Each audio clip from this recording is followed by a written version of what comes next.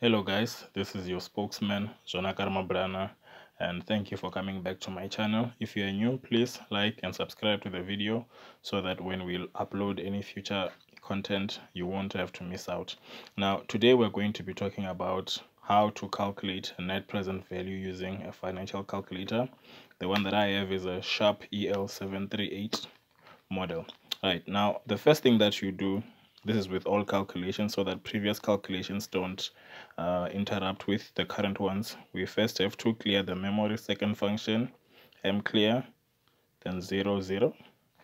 Right, and now the second uh, option, I'm sorry, second step, we have to enter the initial investment of a 100,000 into the cash flow memory. So this one is supposed to be entered as a negative because this is an outflow uh, we press enter ent straight into the cash flow memory. Now the cash flow that we receive should be entered as positive. The first one is uh, 10,000 enter. Second one is 7,000 enter.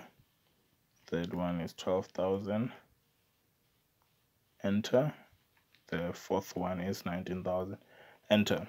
So now our option three we have to go second function cash you see the cash here just above the ci and uh, our rate or our iy is discounted at 10 percent. So we just go 10 percent.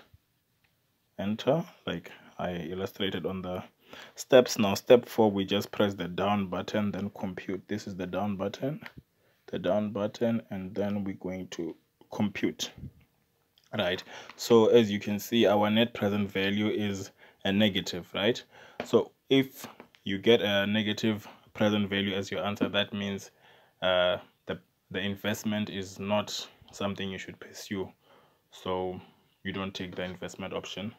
If it's a positive that means yeah it's worth taking. It can add value to the organization uh, that's about it guys. Uh, so if you have any problems with maybe some other calculations or there's something that you did not understand here please uh, leave some comments on the comment section and uh, tell me what future videos you'd like me to do. Uh, thank you and uh, bye bye